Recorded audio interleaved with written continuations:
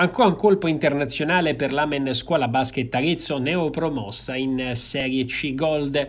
Adesso arriva dalla Serie 2 argentina Santiago Ezequiel Rodriguez. Si tratta di una guardia tiratrice argentina di passaporto italiano. In Argentina Rodriguez vestiva i colori del centro espagnol. Classe 94 sarà il giocatore capace di infiammare il palasport Estra con i suoi canestri mettendo al servizio del quintetto aretino la sua esperienza nella massima serie argentina. Nella stagione appena conclusa il nuovo arrivo in Amaranto ha giocato oltre 17 minuti di media partita con 6 punti e mezzo realizzati realizzati prodotti con il 35% da tre punti e l'84% ai tiri liberi. Le statistiche non tengono però conto che Rodriguez dopo un inizio di stagione in punta di piedi è diventato un autentico trascinatore della propria squadra, risultando in più di un'occasione decisivo con le sue triple. Alto 1,87 Santiago sarà la guardia titolare dell'Amen con la duttilità di poter aiutare anche in posizione di playmaker. Dopo Tenev è il secondo innesto per la società Maranto per il campionato di Serie C Gold che dovrebbe prendere il via il 26 settembre, mentre la Coppa Toscana inizierà nel weekend 31 agosto-1 settembre.